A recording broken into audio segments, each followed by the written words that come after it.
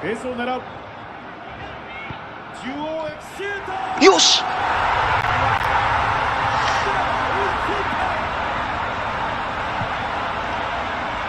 こに来て同点です。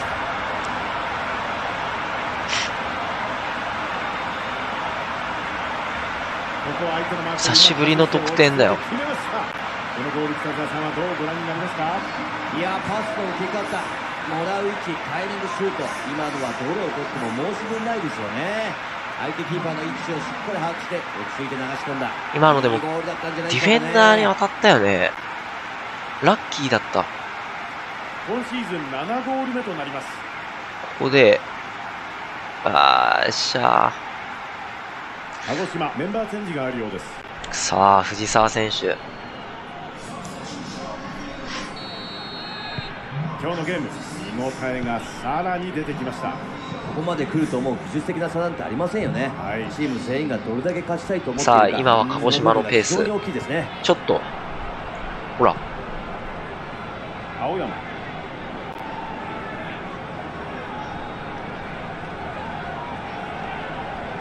こっちだ。な。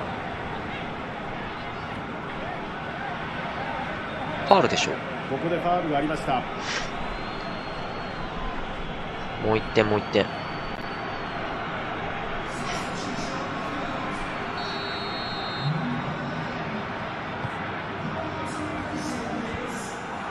いとこまで攻めたんですけどもね。この終盤でのせめぎ合いは最後まで目が離せませんね。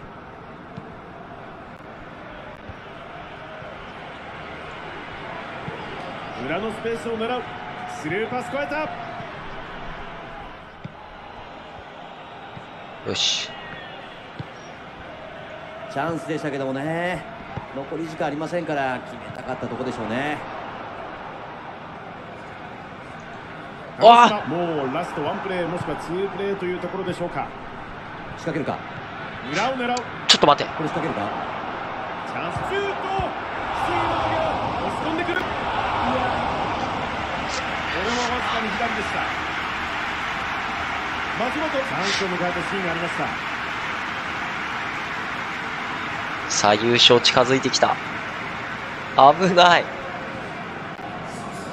両チーム同じタイミングで動いてきます。馬場選手入ってきた。砂森。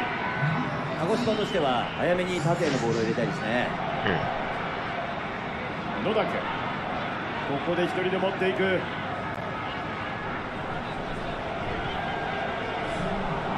いい展開ですね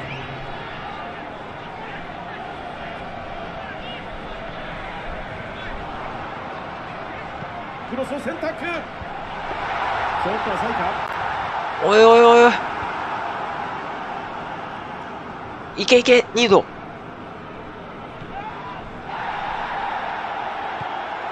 ニウドさあここで増えリーグ優勝の瞬間でやりました。い。いやー、パッとしない優勝になったけど、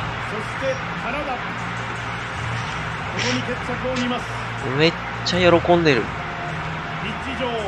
歓喜の渦です。喜びの花が大輪を咲かせています。あーでもこういうシーン見るとなんか、さらなる高みへ新しいシーズンに向けての戦いがいいね。もう始まっています。優勝セレモニーの様子をお届けいたしました。この瞬間のために苦難を乗り越えてきたチーム。今はうん。その歓喜の感覚に存分に浸りましょう。うー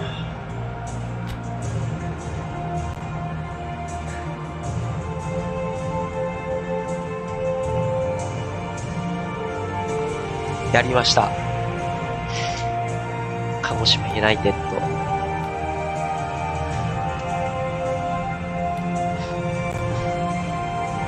右サイドからめっちゃ攻撃してるな。